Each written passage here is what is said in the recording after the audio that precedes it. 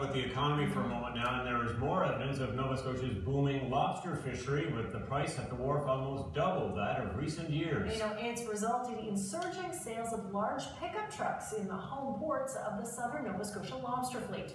Paul Withers now from the dock in Yarmouth.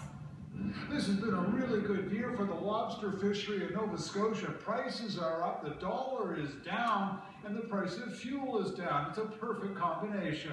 I've actually had a really good year. Lance Cotreau enjoying one of those seasons where everything has gone right. It's all about the bottom dollar, right? It's not how much fish you catch, it's how much money you make doing it. You can see where some of that money is going, all those new trucks on the wharf.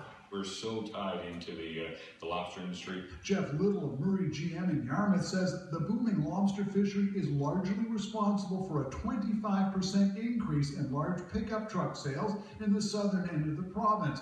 Overall, more than 600 were sold last year, the average costing about 45 grand. The uh, lobster fishermen have been doing uh, great this year. Uh, it's great to see. It's great for the whole community. And uh, when they do well, uh, the community uh, benefits. And of course, as a major supplier of trucks, we definitely benefit as well. So we're definitely selling more trucks. It's continued in the first two months of 2016 when 130 large pickups were sold, a 46% increase a far cry from 2008 when Jeff Little bought the dealership in time for GM to go bankrupt and the onset of a recession.